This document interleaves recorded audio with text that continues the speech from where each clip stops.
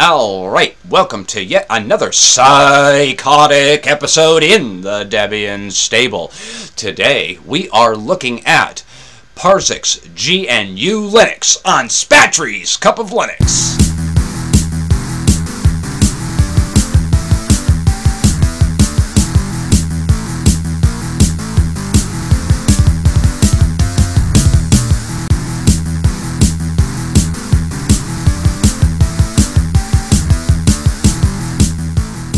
Alright, I had some of my Debian fans request this, and we are looking at Parsix GNU Linux. Now, uh, the reason I'm sitting here at the uh, login screen uh, prior to showing you the operating system is I absolutely love how this looks. This is kind of cool. As a matter of fact, I need to find out what this login manager is so that I can actually start using this in Arch this is really cool looking. Alright, so we'll just put my username, password.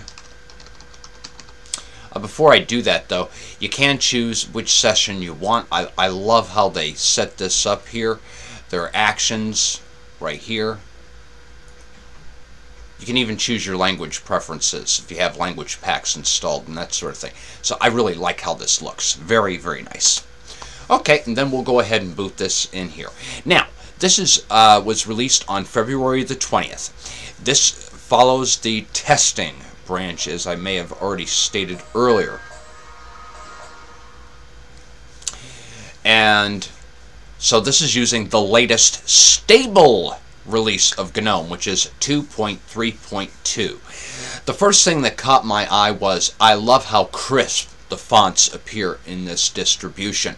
Now, uh, I am using this in scaled mode, so uh, it's not quite as crisp now as it was when I initially installed this and that sort of thing.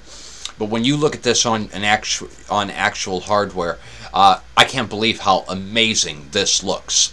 Okay, now you get four desktops to choose from here, and an icon to show your desktop. This also comes with Compiz pre-installed on it. I just have it disabled for the time being. On the uh, upper right, you have a, a, power button which allows you to shut down, restart, that sort of thing. You get a calendar, uh, battery monitor, network configuration, and keyboard layout. Okay, and then you can search for files. You have a terminal link. You also have a link to your home folder. All of your system preferences and administration. Simple GNOME 2.32 things, places, and then applications.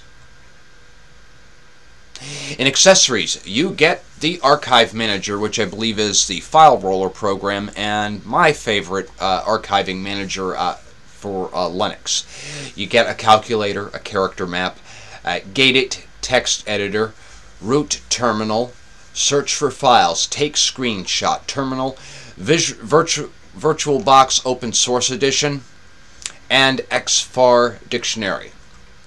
In games, they included a number of little games that you can play on this. You get the Isle, Ro uh, AisleRiot Solitaire, Chess, Five or More, Four in a Row, Free Cell, Lango, Klotski, Mahjong, one of my favorite games, Mines, even better game, Nibbles, Quadrapassel for all you Tetris fans out there, Robots, Sudoku, Tali, and Tetravex in graphics. You get the GIMP! That's right, gThumb Image Viewer, Inkscape, Open Office Draw, and Xsane Image Scanning Program.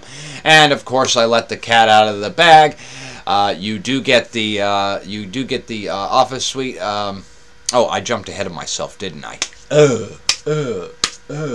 Uh, Okay, in internet, you get dial-up internet connection, Empathy IM client, Firestarter desktop firewall, GNOME FTP client, GWGet download manager, Gwibber social client, Iceweasel web browser. Notably, that is just like having Firefox installed, okay?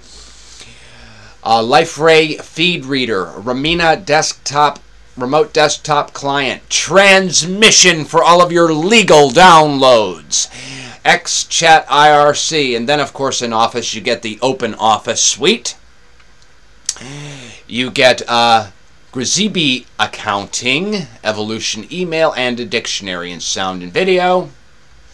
You get an audio CD extractor, AVI Demux, very cool program. You get the Brasero uh, coffee um, coffee coaster program. Yeah. Okay. Yeah, disc burner, but it makes more coffee coasters for me. you get the cheese webcam booth, sound recorder, VLC media player, and XBMC media center. And then, of course, in System Tools, you get the Compiz Fusion icon for all of you with the eye candies. Uh, configuration editor, disk usage analyzer, file browser.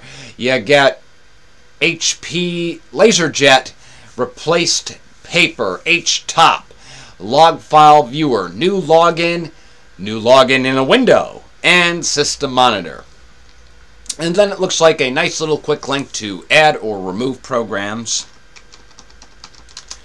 And I'm guessing that's exactly what it is. Ah! Nice quick link to the Synaptic Package Manager for all of your, you know, uh, pulling items out of the testing repositories and that sort of thing. Well, okay, so now I have a nice distribution that is on testing. I've got I've got a distro for uh, Debian Stable. I've got a distro for testing, and now I have one for SID. Cool beans! All right, so uh, we can eventually do some tutorials on these things for you guys. All in all, I like Parsix GNU Linux. This looks pretty darn nice. Would I use it? Absolutely. This is a good operating system to use, and um, you don't necessarily have to have the latest uh, hardware that is out there. If you thought this review was useful, please comment, like, and subscribe. Google+, Facebook, and Twitter.